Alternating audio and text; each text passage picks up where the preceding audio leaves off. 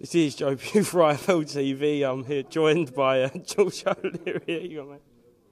Hello, mate. How you doing? Uh, who have you come to, as today? Batman.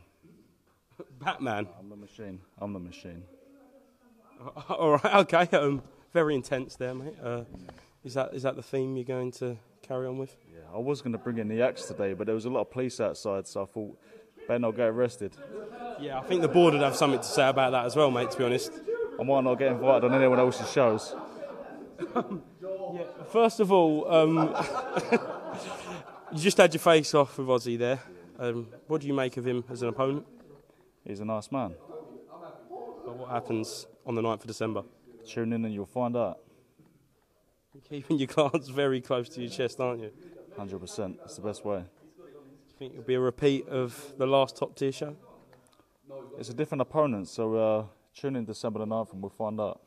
We're not going to see any kick-offs with you like Thomas and that. Listen, I'm a fully grown man. I get paid to fight. I don't fight for free. Okay, George, uh, is there anything else you'd like to uh, add of that? Yeah.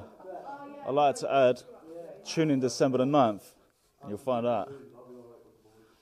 International Man of Mystery, The Machine. Um, don't bring your axe on fight night. I'll try not to. It might be an inflatable one, so it won't Hopefully be you'll have two axes in your fists. Yeah, 100%.